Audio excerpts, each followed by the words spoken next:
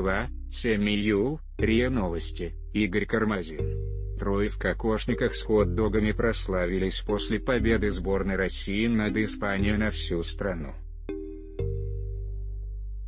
Сначала двух мужчин и женщину показали в ходе телевизионной трансляции, потом в интернете появилось множество мемов с их фото, теперь они становятся героями телепередач. Популярности способствовали в том числе национальные головные уборы.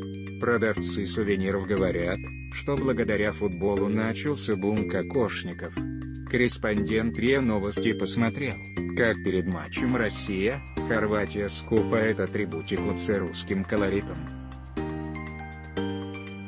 Испанцы скупали все, уно, дос, крес, кватро.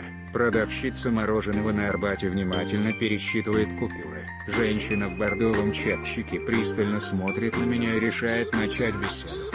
Хелла, вот you want? Ой, или вы по-русски понимаете? Еще только утро, а я уже путаюсь. За последние две недели тут столько иностранцев было, что я, кажется, русский забыл. Знаете, я английский только в школе учила но кое-что помню, оказалось. А теперь считать еще и на испанском научилась. При этом на главной туристической улице Москвы никакого нашествия болельщиков не заметно. Лениво проезжают по брусчатке поливальные машины, идут по своим делам офисные работники, раскладывают на прилавках товар продавцы книг и картин. Около памятника Пушкину и Наталье Гончаровой фотографируются туристы. Самые заметные – японцы, шумной толпой перемещающиеся от одной сувенирной лавки к другой. Кокошники. У нас большой выбор. Проходите. Приветствует меня продавщица одного из магазинов Зульфи. Вообще-то это женский головной убор. Но берут и мужчины, они веселятся, а женщины к покупке всегда щепетильно относятся, подбирают цвету глаз. Вы на ценник не смотрите, я вам скидку сделаю. Девушка достает головные уборы, как фокусник, зайцев из шляпы. Есть простые дугообразные одноцветные кокошники, такие стоят тысячу рублей, изящные, со сложной вышивкой и бисером обойдутся в 3-4 тысячи. Популярностью также пользуются шапки-ушанки кислотных расцветок. Розовый, салатовый или в цвет российского флага. Все по тысяче. Между собой мы говорим, что крутые дни закончились, вздыхает Зульфи. Самые веселые были испанцы, они уже уехали, скупали у нас буквально все, кружки, магниты, матрешки, футболки с забивашкой. Водка из Калашникова ассортимент в сувенирных лавках на Арбате примерно одинаковый. Около театра имени Вахтангова замечаю первого человека в интересном головном уборе, белой кепке русского селянина с ярким красным бантом. Он осматривает улицу, как капитан морского корабля, выбирающий место для швартовки. Вот думаю, где сегодня расположиться. Представляется, Георгий. Он же Гоша, он же Жора. В руках у него пачка бумаги и карандаши. Чемпионат мира, кайф. Самые интересные болельщики были у Коста-Рики, Исландии, Мексики. Лица у всех фактурные, экзотические для наших широт. Рисовать – удовольствие. К тому же они платили хорошо. Континентальные европейцы более прижимистые, рассказывает уличный портретист. Самая громогласная на Арбате – женщина в красном костюме. Мимо вы не проходите. К нам лучше заходите, рекламирует она очередную сувенирную лавку.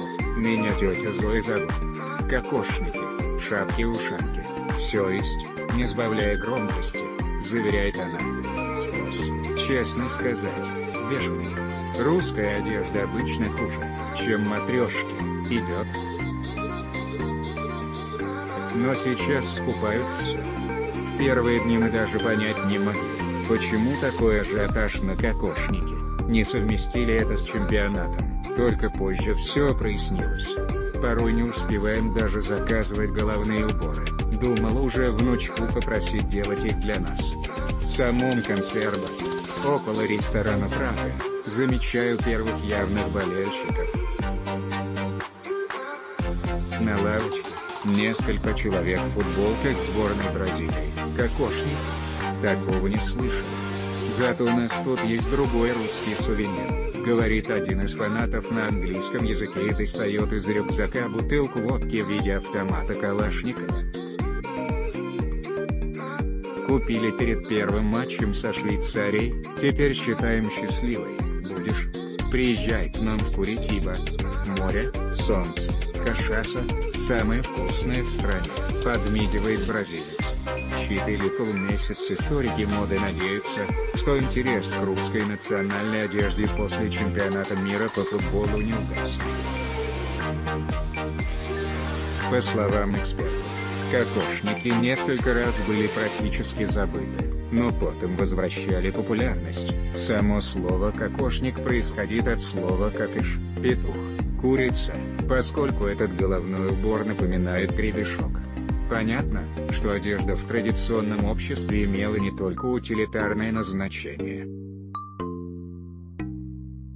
По элементам гардероба можно было понять место рождения, материальное положение, сословие. При этом кокошники носили как замужние женщины, так и девушки на выданье, объясняет РИА Новости историк моды Павел Матюнин. Кокошник крепится на покатую или поднятую шапку и представляет собой веер, полумесяц или щит.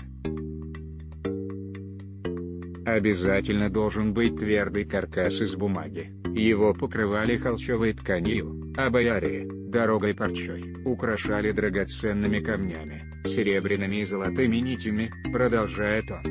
И добавляет, что в центре кокошника часто размещали орнамент лягушки, символ плодородия.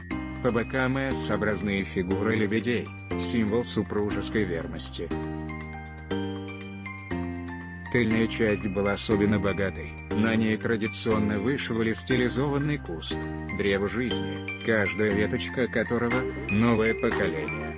А на ветках – и птицы, и плоды с семенами, и много других символических знаков. Таким образом, кокошник был еще и оберегом. От войны до революции в допетровские времена кокошники носили представительницы всех сословий. Петр I, фанатично европеизировавший Россию, головной убор запретил. Его сменили парики. Вторую жизнь кокошники получили после Отечественной войны 1812 года, когда франкофисло сменилось русофислом. Еще более популярными национальные головные уборы стали в конце 19 начале 20 века. Апогеем был знаменитый костюмированный бал, который Николай II устроил в Зимнем дворце в феврале 1903 года в честь 290-летия Дома Романовых.